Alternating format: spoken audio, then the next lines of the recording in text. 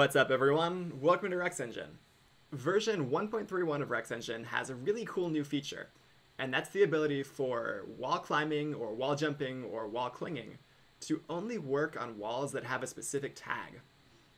So by default, we've got this wall cling state on the player, and right now it's set so that we can wall jump and we can slide down walls.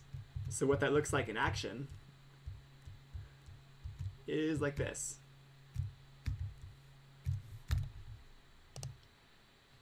So this metal wall that I've got on the left here, this is only a sprite. Um, so it's, it's only for illustrative purposes. It's not actually doing anything mechanically. But what if we wanted to make it so that the player could only interact with walls that have this metal thing on it? So what we could do in that instance is um, I'm going to disable the, the metal part for a second, and all the physics are on the terrain here. Um, so I'm just going to click on all the terrain objects.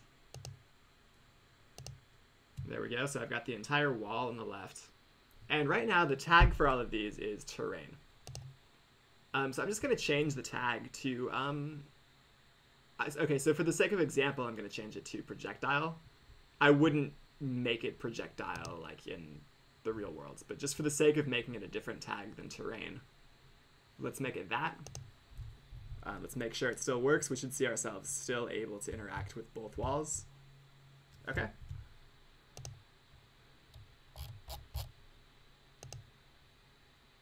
I'll turn the metal back on so we've got a visual.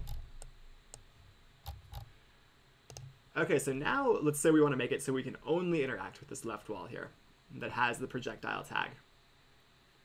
So if we could click on the player and go on their controller and scroll down to their wall cling state. There's a new option here now. Um, there's this field that says require specific tag on walls.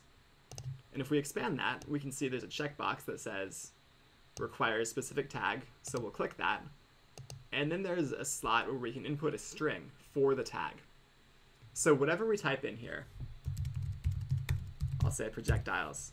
This is now going to require the wall to have that tag before we can interact with it. So if we test it now, we should see that we won't be able to slide down the wall on the right because the tag for the wall on the right is still terrain and not projectiles. So nothing happens on this one. However, the wall on the left, because the tag is projectiles, should work. Owned.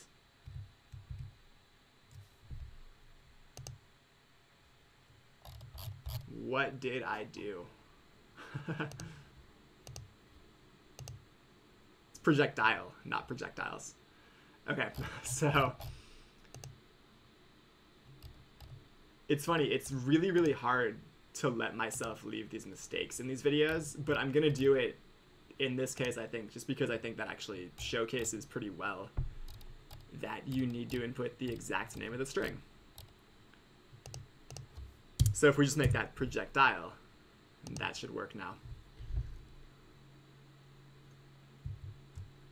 There we go. So this whole thing really is that easy. Um, just by clicking on that box and typing in a string, you can make it so the player can only climb or slide down or jump off of walls with a certain tag.